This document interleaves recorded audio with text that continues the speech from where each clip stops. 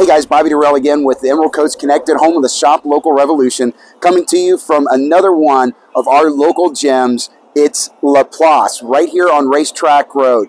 I tell you, this is a wonderful little shop. Miss Mina and her husband have been making spices and sauces, uh, all natural, for years, and they've put that into their food. They've put that into the making that they have. It's pulled pork, it's it's barbecue ribs. They are fall off the bone good. You've got to call early and tell her to hold you some.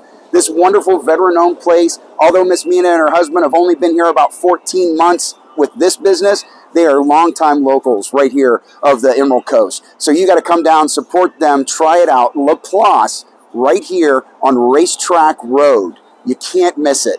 You've got it. Uh, look, I recommend the Cuban sandwich. That's what I'm about to have.